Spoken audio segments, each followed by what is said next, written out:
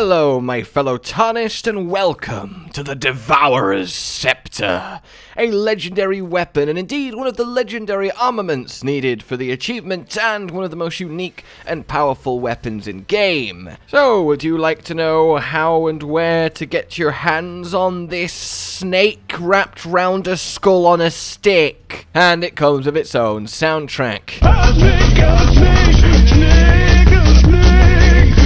And maybe, you know, if you're not sold yet, how about the notion that it, in a huge area around you, steals the souls of your enemies in order to heal you? Yeah! The Devourer of Worlds. So, let's do this thing. This is a very interesting legendary armament in that you can get it either incredibly early as soon as you start the game, or you can get it incredibly late just before you finish the game. The choice technically is yours, though if you choose the early option, you will lock yourself out of a lot of incredibly good rewards.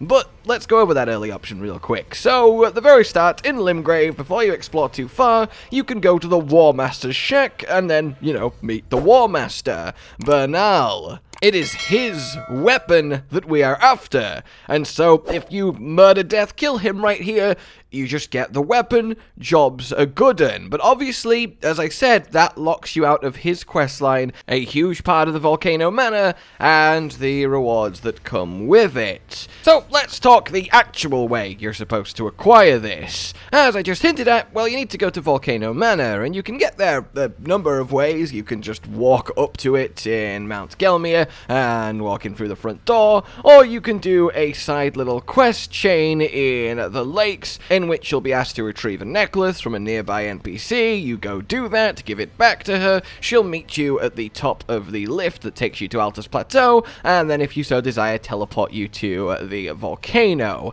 Quite uh, the succinct little way to skip the travel time. In any case, now you're at the Volcano Manor, you need to do the Volcano Manor questline, the main Volcano Manor questline, the series of what essentially amounts to assassinations. When you first walk in, you will grab a letter on the table, and it will show you on the map where there is someone you need to go kill. Go kill that person, and then when you return, you can get some rewards, and there will be a new letter waiting for you. Make sure you talk to Bernahl and exhaust his dialogue every time you return from a new assassination. Once you have done two, and you return and get the red letter, ignore the red letter. Talk to Bernahl, and he will give you one of his own. This is the one that we care about and the one that we need to do to get the weapon eventually. This has you go to Leyndell, the capital, and have a two-on-two fight, you and Bernahl, and here he is wielding the Devourer's Scepter against two Tarnished. When you emerge gloriously victorious, you get the incredible armor set, and also you have now progressed his quest to the point where you can safely finish Volcano Manor. Go back, talk to Bernahl, and then do the final red letter, and then go kill Rykard, the final shard-bearing boss of Volcano Manor. After you've killed him, I won't show you him, there's no point spoiling it, it's an incredibly epic fight, and if you've not seen it yet, you really are in for a treat.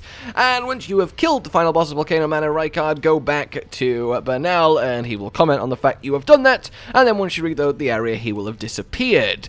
So we need to meet him again to get the weapon, and that happens in Farum Azula. Fairly deep into Farum Azula, and Farum Azula is Poke's Mountaintop of Giants, so yeah, you will be a little while until you can collect on your reward here. But once you do get to the beside the Great Bridge Grace, and Farum Azula is a fairly straightforward path, you'll find your way here no problem, I don't want to show you more of the area than I have to, you want to take, well, the route that you are seeing me take on screen. Essentially, we're ignoring the path to the main boss, going left, and ending up on a bridge. On this bridge, you will get invaded by, you guessed it, Bernahl, and he really, really is not pleased with you. Have glorious battle, and when you emerge triumphantly victorious, well, here is our prize. The Devourer's Scepter, along with his armor set, and as a little bonus, uh, this lovely, very, very helpful item, the Blasphemous Claw, which will make the fight against the main boss of Farum Azula much easier.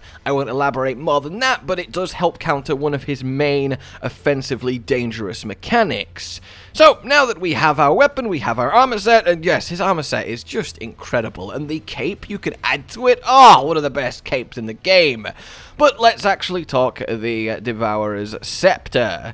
It's a uh, faith, dex, and strength weapon, scaling with all three and requiring a fairly sizable amount of all three to wield. Is it worth it? Well, it's not the best weapon in terms of just smacking people with. It comes with a little bit of bonus fire damage. It's not weak by any means, and it's got that big hammer, Warhammer moveset you would come to expect. Slow, heavy, impactful. But what it does have is the Devourer of Worlds. It's Ashes of War slam the scepter into the ground, and then it will pulse this red energy dome all around you, and every enemy in it will be damaged. And once you get this thing upgraded, this thing is going to do so much damage. And that damage then directly converts into healing. And the healing is intense. A you know, middling sized group of enemies essentially is a full heal to a middling amount of vigor, which is really, really awesome. Honestly, if for whatever reason you don't care to do his storyline and you do grab this early on, going through the game with this weapon I imagine will be a lot of fun. In any case, by the time you get it, I don't think it's going to set your world on fire, as it were, but I do definitely think it is one worthy of being part of your collection, and of course a weapon necessary for the Legendary Armament achievement, and definitely, I mean, snake wrapped round skull that sucks the life out of enemies. I mean, it's it's very cool, right? This is one that everybody wants to have a little bit of a go with at some point. So that's the Devourer Scepter, that's how you get it, and I hope you have fun doing just that. For now then, like if you've enjoyed this, found it helpful, subscribe and hit the bell for more so you don't miss further Elden Ring tips, tricks, guides, builds, funny bits, and so on. And until we meet again, please consider supporting the future of this channel on Patreon down below. A goodbye. Josh, Cotton, and Hollow with the videos, dropping the humor like a hammer on your tippy toes, bringing entertainment on a daily arrangement to take our insanity and turn it into entertainment. Yes, I said entertainment twice to reiterate that it is nice to look into your faces on a mostly daily basis when you let us in your homes to make the whole world a stage. Is uh goodbye.